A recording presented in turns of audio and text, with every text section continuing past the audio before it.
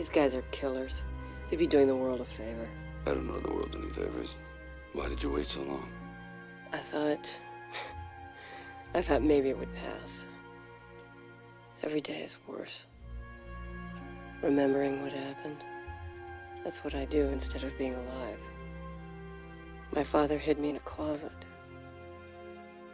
I could still see.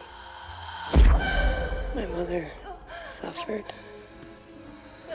I don't know anything. They tortured her to get my father to talk. We're gonna have to kill her.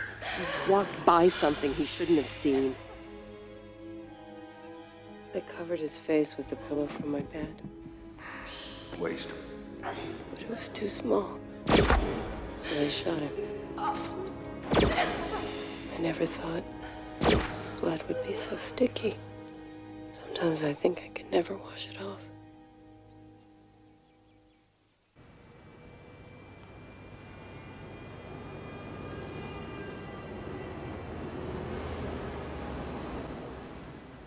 The only thing I understand anymore is revenge.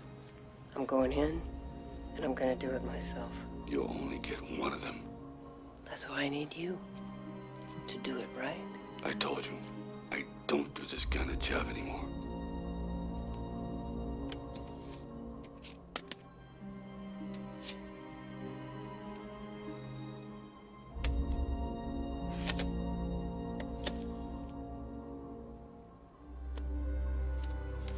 You've been watching me trying to decide if if I'm on the level. If you're gonna take the job. Well, I can't wait anymore. I'm going in. They'll make you. I have an alias. Adrian Hastings. Wish me luck.